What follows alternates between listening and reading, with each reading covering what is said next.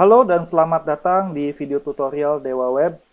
Di video tutorial kali ini, kita akan belajar mengenai menus. Kita bisa mengakses menus di Appearance, lalu kita ada menus. Langkah pertama yang kita lakukan untuk membuat sebuah menu adalah memberikannya nama. Misalnya, menu contoh pertama. Lalu kita klik Create Menu. Menu adalah sekelompok links.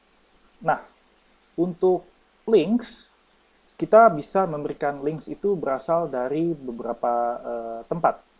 Ya, di sini sudah diberikan yang pertama ya custom links. Jadi ini adalah links yang sifatnya uh, di luar dari website kita sendiri. Ya, sebagai contoh misalnya saya mau memberikan satu link ya yang kalau diklik akan menuju ke dewaweb.com dan ini bisa saya berikan nama misalnya Dewa Web ya atau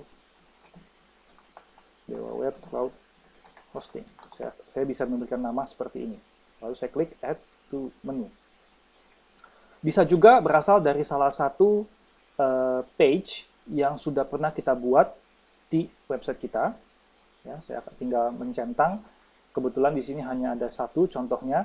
Jikalau ada beberapa, tentu teman-teman sekalian bisa memilih halaman-halaman atau pages-pages yang memang e, dikendaki, lalu kita klik Add to Menu.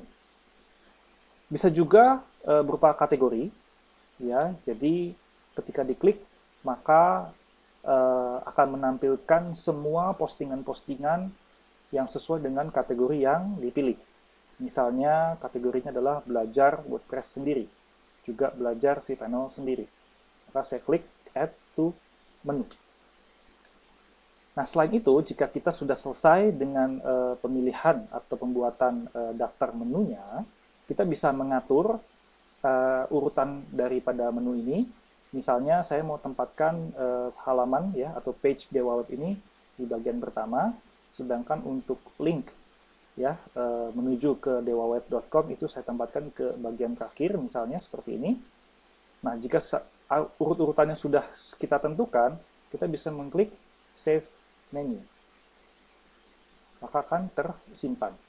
Untuk memunculkan ya e, menu ini, kita bisa menempatkannya di primary menu. Primary menu itu letaknya di sini ya, saya akan perlihatkan. Jadi eh, bagian paling atas ini itu adalah header. Ya header. Untuk header kita di sini hanya ada teks ya. Dan di bawah header yang di sini ini bagian ini inilah adalah bagian uh, primary menu. Jadi untuk sekarang primary menunya hanya diisi oleh satu buah uh, pages yakni pages yang berjudul Dewa Web Nah, jikalau saya memilih di sini untuk primary menu, saya menggunakan menu yang sudah diciptakan tadi. Saya klik save. Maka ketika saya refresh halaman ini, nah, seperti yang rekan-rekan atau teman-teman sekalian bisa lihat, di sini sudah ada menunya.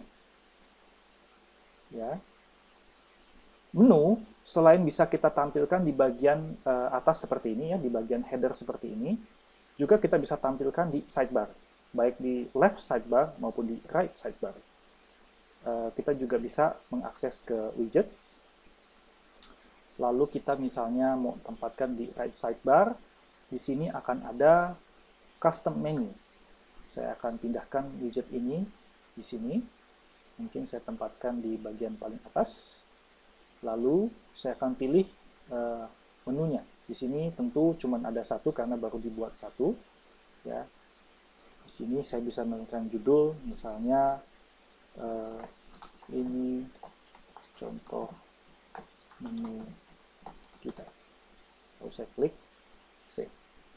Maka yang akan terjadi adalah ketika saya refresh halaman utama kita, akan muncul menu ini di sini ya. Ini contoh menu kita di mana ini akan uh, menjadi link tersendiri ya.